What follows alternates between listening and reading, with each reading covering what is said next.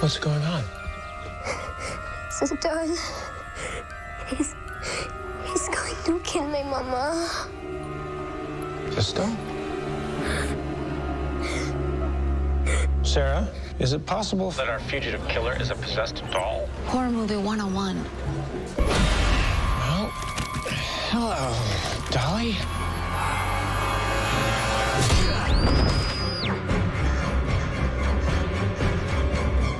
Wrong doll, you dick!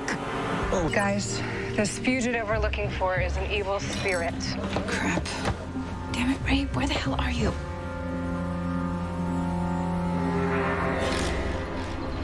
Ray?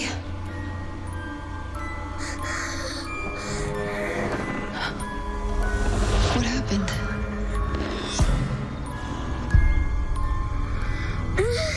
Sara, any sign of the fugitive?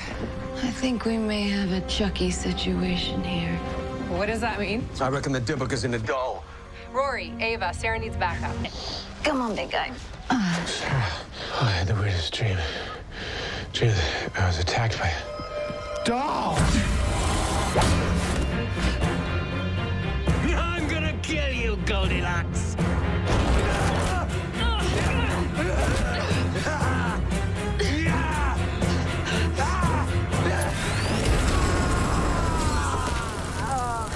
You're late.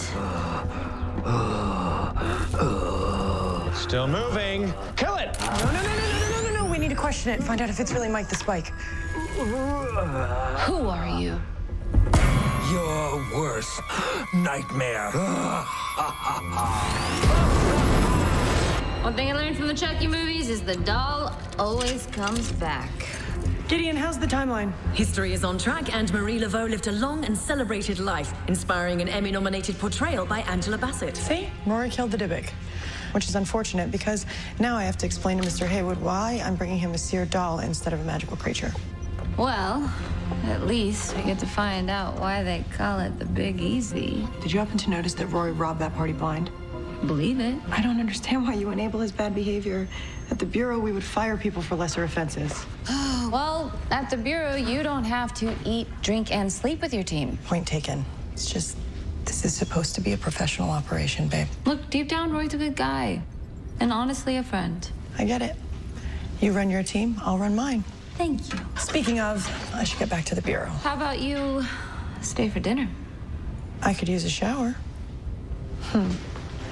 It's not like that thing's going anywhere.